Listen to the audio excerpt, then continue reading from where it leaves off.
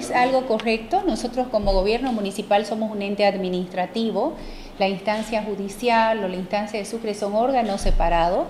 Si hay un fallo que conforme ley, nosotros vamos a acatar ese fallo y vamos siempre a traer la unidad al Consejo y trabajar por el bien de Santa Cruz.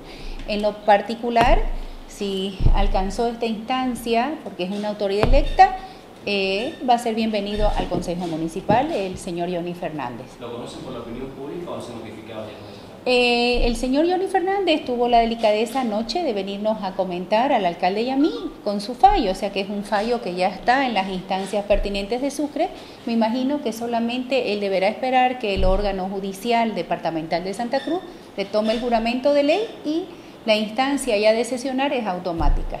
Entonces, ya una novedad que él sesione luego de la posición del tribunal. Claro, si eso es hoy o mañana, eh, la esta semana o la que viene ya estará en el curul que le correspondió por ley, que seguramente por alguna situación jurídica que desconozco tuvo estos inconvenientes.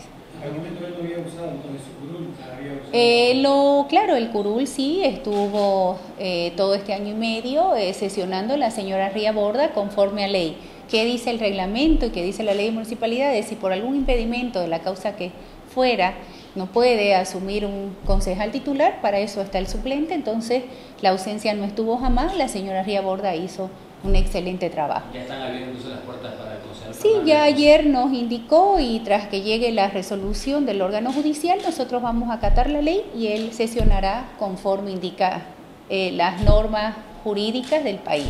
La relación entre, eh, en este caso, la UCS, la alcaldesa y la, en este caso la ¿cómo es? Nosotros desde el primer momento hemos toda la fuerza, despojado criterios personales, situaciones políticas y hemos trabajado por Santa Cruz.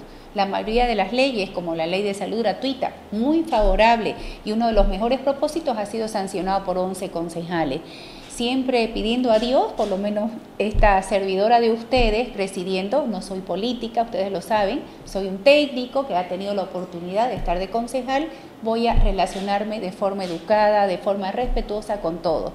En el propósito que vi ayer en la conversación, Doyoni Fernández quiere venir a aportar a su pueblo y para nosotros es bienvenido. El aporte de todos los que estamos ahí es trabajar por Santa Cruz, por su necesidad y por los vecinos.